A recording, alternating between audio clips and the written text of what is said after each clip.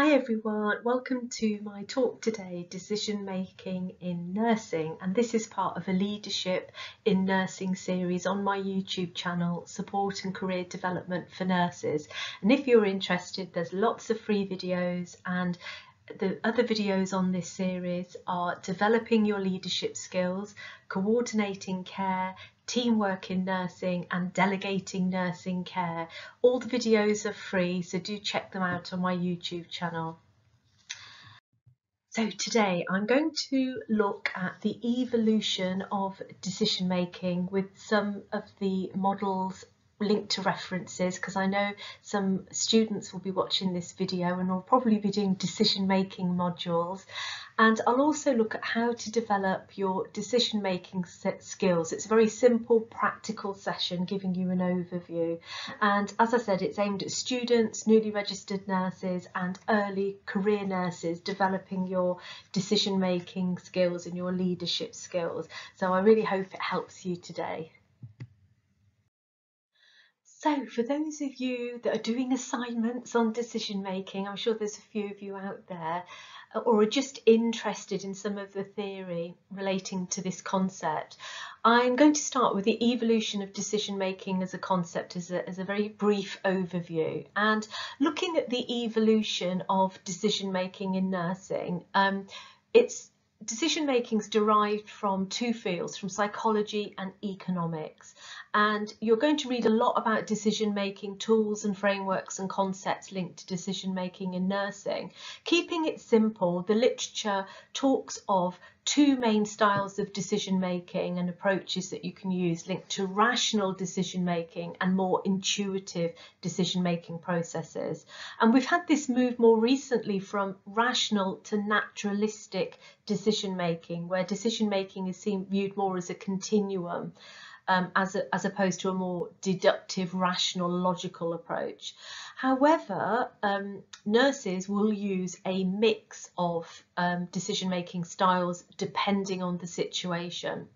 And I talked a little bit similarly with leadership styles. It will depend on the situation. Nurses make a range of decisions to suit different contexts. You make urgent, time critical decisions when there's a crisis and a decision has to be made quickly versus decisions made over time following in-depth analysis. I remember being a nursing sister and we changed, I looked at changing the visiting times to make them more open uh, on, um, on a neurology ward and that could be taken um, the, the, decision was made over time with patients, collaborating with relatives and staff to come to a decision but it wasn't time critical or as time critical.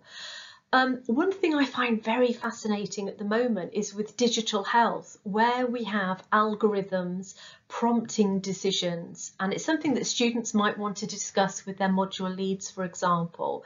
Um, and are decisions linked to nursing care are derived from algorithmic care with electronic health records, for example, where we've got logical deductive um, decision making with the best options.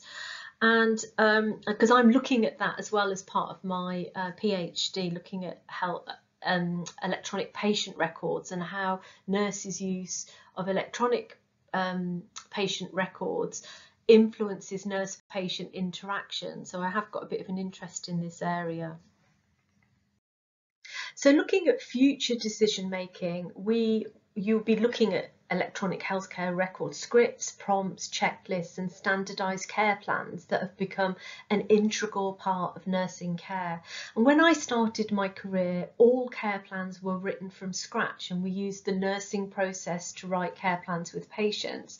And my um, nurse um, training it wasn't a degree then was very skills based training focusing on conditions signs and symptoms. So I'd be able to write those care plans and have the knowledge to know what to put in the care plans. So we have a very different approach now in nursing.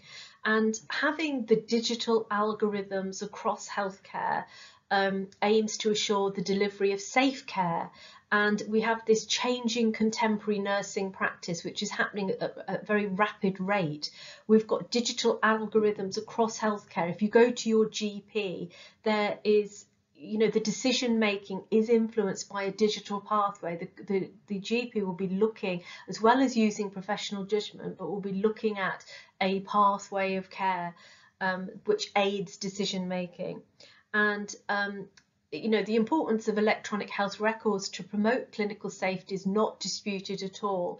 But what effect does it have on nursing decisions and professional judgment? And that's a question you might want to reflect on with your module leads or with your peers if you're already registered.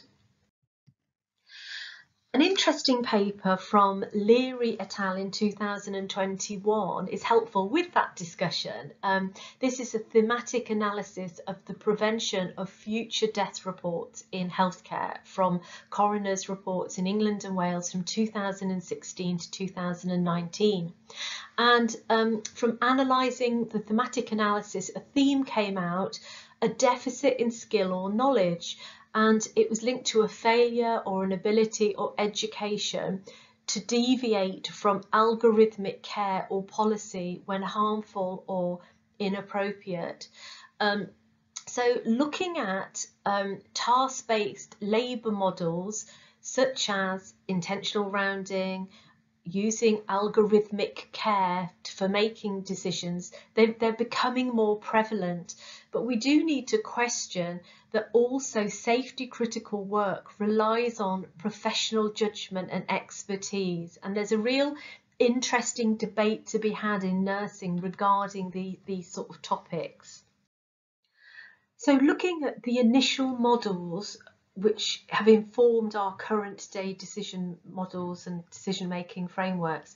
It started with classical rational model from Brunswik, Egon Brunswik in 1952, where individuals use cues from the environment and aim to be, your decision making aims to be accurate, empirically accurate. So the decision maker is objective, they evaluate information and consider alternatives, consequences before selecting a solution and making a decision and may attach values to different choices to come to that decision. So it's a rational, logical and impersonal approach. Um, it's based on organisations' best interests and it aims to maximise value. Um, so you've got these known consequences of what each division, what will happen with each decision. However, because we work in uncertain working environments in nursing and humans are subjective, um, the criticism of this model might be that you might not have all that information to hand when you're on a busy day-to-day -day, um, shift in nursing. And in healthcare, clinical environments don't always allow you the time to check a Cochrane database to speak to everybody involved. We still have to make certain decisions in rapidly changing situations. The next model is the administrative model, and that focuses on how decisions are made in the real world. And this came from Herbert Simons, who wanted to replace the classical decision-making model with more of an economic approach. Um, this model is focuses on the decisions that are made in the real world and um, there is this concept bounded rationality um, you're bounded by what's going on in your real world environment, essentially, and you do not always have complete information. You don't always have time to analyse all the calculations, the outcomes and the alternatives. So you're looking for the best solution with the data that you've got available. So it's more of a pragmatic approach, I would say, and it's reliant on individuals' experiences and what data they have to hand. Um, and it's more of a broader descriptive model really explaining how managers make decisions, but it doesn't explain how they're going to do this. So it's more of a descriptive model. The political model um, there was a move to this model and Pfeiffer in 1981 discusses this model in the book Power in Organisations. It's driven by the agendas of people rather than rational processes and decision is made through discussion, negotiation and political bargaining. It's used when there is a high risk of failure um, and a risk uh, because of uncertainty in the situation and manager, managers may form a coalition and work together collaboratively to resolve um, and to make decisions, to resolve an issue and make these decisions. It relies on an exchange of different viewpoints and, and everybody will come with different assumptions, biases and views. Um, it may be less re reliable because of that, because it depends on the people participating and their experience. And strong personalities may win, win arguments with decisions. And I've witnessed this many times over the years where a quieter personality may be dismissed in a group and they might have had very insightful points to make and they should have been listened to at the time before that decision was made. But because of a more dominant character in a group, um, a different decision and pathway was taken. Um, a good chair in a meeting will facilitate um, collaborative decision making and shared decision making if there is a dominant character.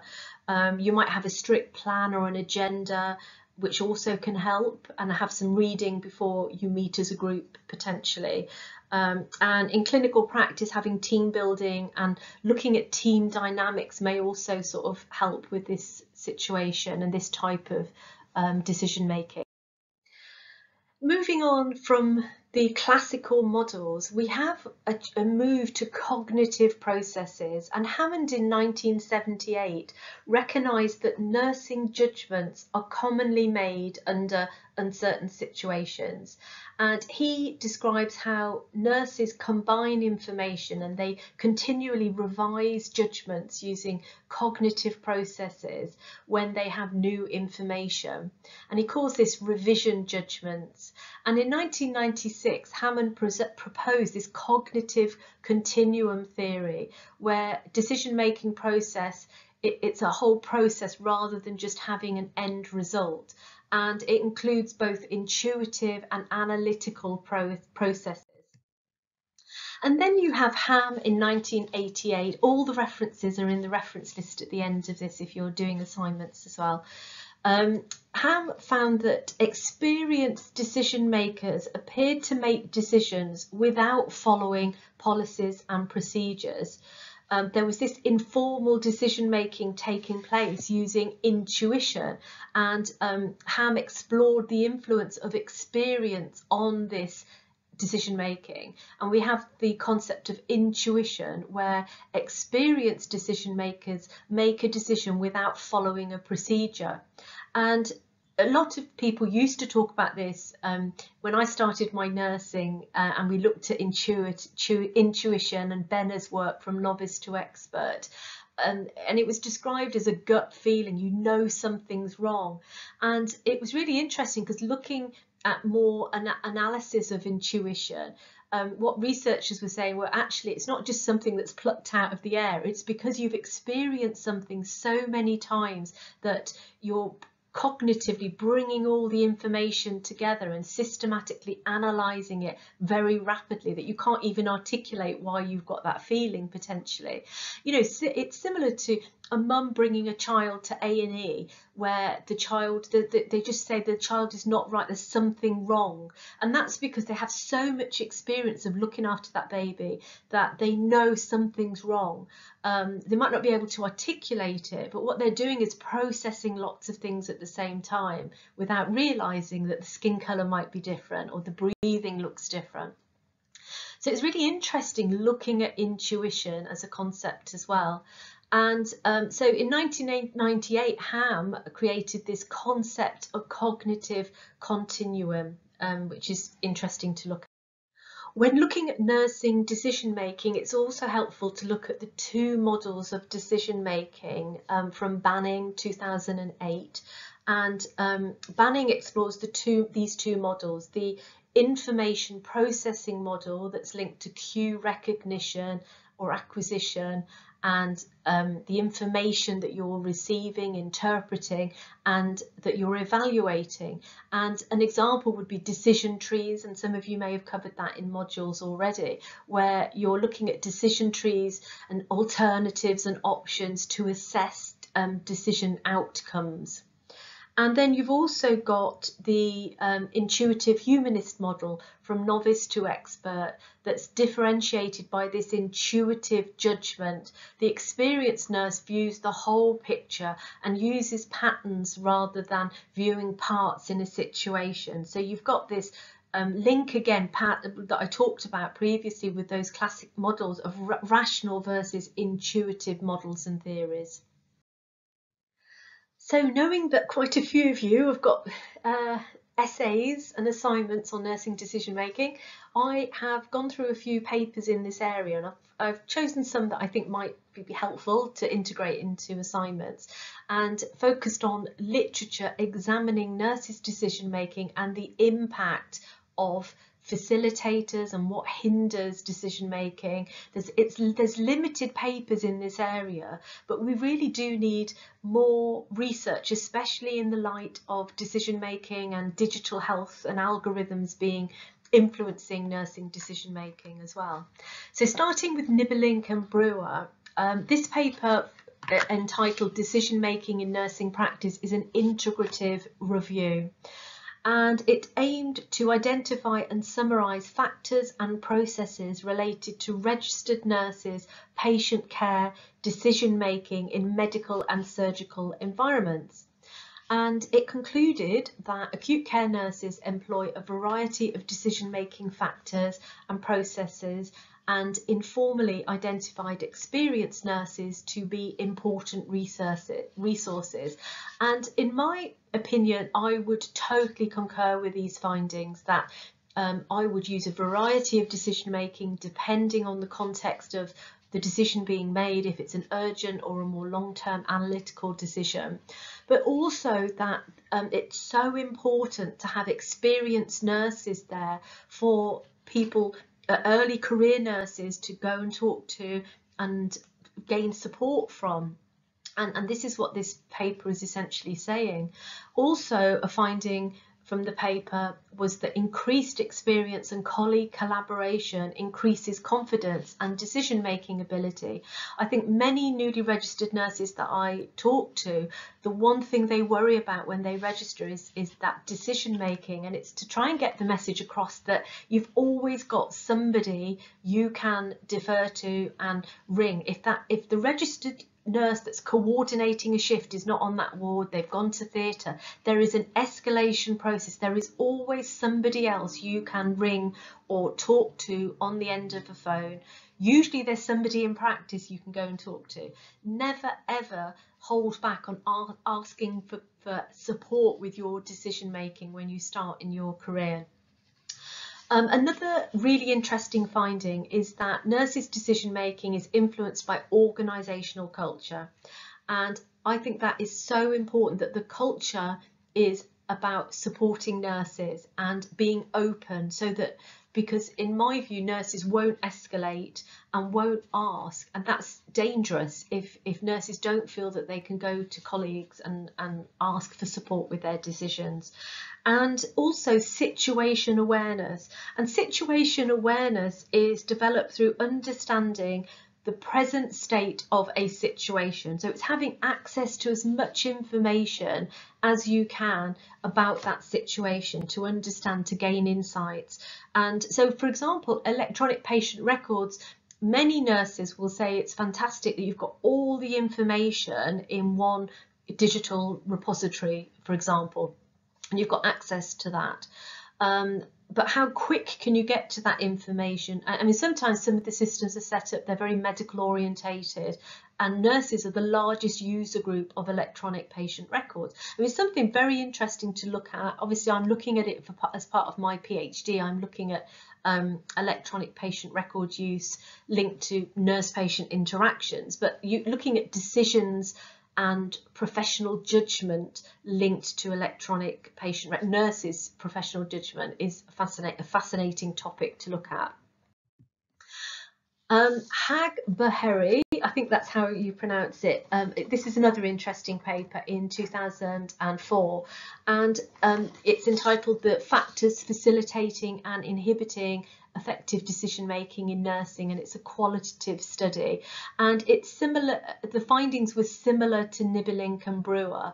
Um, they uh, the researchers analysed 38 nurses lived experiences regarding factors affecting clinical function and decision making and they concluded that being competent and self-competent are the most important factors influencing nurses decision making and again I would totally concur and agree with this. Um, being competent is about having like taking your time with decision making, developing your skills. Um, you need to have experiential learning where you're reflecting on practice and gaining feedback from your peers. Being competent is also about developing your knowledge base. Um, if you're in a specific specialist area, doing specialist courses um, will help your decision making because you're gaining more in-depth knowledge again but it takes time. And that essentially will develop your self-confidence. Also organisational structure again similar to Nibbelink and Brewer and access to supportive resource, resources and nurse education. And that is paramount with decision making. Chung et al. 2021, I chose this paper because it focuses on shared decision making, clinical decision making, which is um, coming to the fore over the last decade really. Um, and Chung et al. used a qualitative, qualitative research design, semi-structured interviews were conducted with 21 nurses at a medical centre in northern Taiwan and they the results linked they did um, content analysis of the interview narrative and identified three themes re relating to knowledge regarding shared decision making um, triggered discussion and coordination and respect of socio-cultural factors. And I think it's just an interesting paper to look at because um, you know there isn't that many papers looking at the impact of different types of decision making on, on care and on nurses decision making. Looking at how you develop your decision making skills as a student, newly registered nurse or early career nurse. Ways to develop your decision making, in my opinion, um, after making many poor decisions in my life as well, um, it's not all about perfect decision making. I have made um, gone at home after shifts thinking, oh, I shouldn't have made that decision. And as an early career nurse, you know, that does happen. But it's about talking about it and putting it in the context of everything else that's going on and in a supportive environment is the key to developing your decision making. Um, observing practice, so observing people making decisions, and you can do that as first, second, third year students. You'll see expert nurses and expert leaders making decisions and saying to them, oh, you made that decision, it's very decisive, you know, and, and discussing with them how they make their decisions, but also reflecting on your own decisions. And it will take a lot longer to make decisions when you first start out. I'm now much more decisive. I don't beat myself up when I've made a, a slightly difficult decision and I, it perhaps might not have been the right decision. Um, you know you, you go through those experiences and you realize actually in the scheme of things this is quite a small decision I've made. You know perhaps it wasn't the right one but I'll learn from it. And it's really about learning and developing your skills and not being hard on yourself I think um, and not expecting to know it all. You won't. Get on those post-registration courses. Develop your knowledge. Talk to staff. Observe shadow reflect and you will get there increase your self-awareness um, and it's all about experiential learning. Um, accessing resources and peer support. So what is there out there to develop my skills and, and my decision making? Is there any group support um, with your employer? Is there any um, national forums or local forums that you can join? Access clinical supervision. If they don't off offer it, it with your employer, you can seek it externally um, or a career coach or a career advisor. Um, and then the final thing I would say is academic and professional courses. Um, and you've got modules on clinical decision making and you've got modules right up to um, nurses that are advanced nurse practitioners who are making clinical diagnoses um, by obtaining physical histories from patients and making um, you know those decisions and 80% of a clinical diagnosis comes from history taking. So there's a lot of history taking modules linked to that. And it's all about getting a whole picture of of a person when you're making that clinical decision making um, and clinical diagnosis. So there's some, there's some really interesting courses out there, but developing your skills in whichever field you're in and your knowledge and your competence will come with academic courses being aligned to your professional experiences. I have some as I mentioned earlier, some videos that may help looking at teamwork, looking at developing your leadership skills, delegating, um, coordinating care, and the differences between different roles and role boundaries. If you're making a decision and you're going to delegate to people in your team, you need to know what a nursing associate does, what a nursing assistant does, or a healthcare support worker or assistant practitioner does in your area of work. Those support worker roles you'll be delegating to. If you're making a decision, you may be making a group decision or involving the team. So that's very important. Um, so it's just a lot more depth in those videos about those topic areas professional education and academic courses. So you've got post-registration specialist courses to develop knowledge, skills and competence. You've got a master's in healthcare leadership, um, you've got advanced nurse practitioner courses, if that's the route you want to take, clinical decision making modules and the NHS Leadership Academy. And I have um, two talks, well, three talks on education. The first being which post-registration course, if you want some advice on courses when you register, how to look at funding if you have no local funding offered and you have to look externally. And um, I've also got a talk on tips on um, applying for funding as well if you're interviewed for funding externally. And finally, the references. I know I get asked by so many students for these references um, for assignments, so I have added some. And these sessions are very much an overview, a simple, practical overview, but I often get asked for references. So uh, you might want to stop the videos as I go through some of these references and hopefully there'll be something there that you might be able to include in assignment or it's triggered something for you to reflect on with your module leads. And if you have any questions at all, don't hesitate to put them in the comments in YouTube, or you may prefer, rather than putting it on a public forum, to DM me on my Twitter or my website or my Instagram. If you're interested in buying any of my books, I've also got links to my books in the YouTube description. Um, and I hope that the session helps you in some way.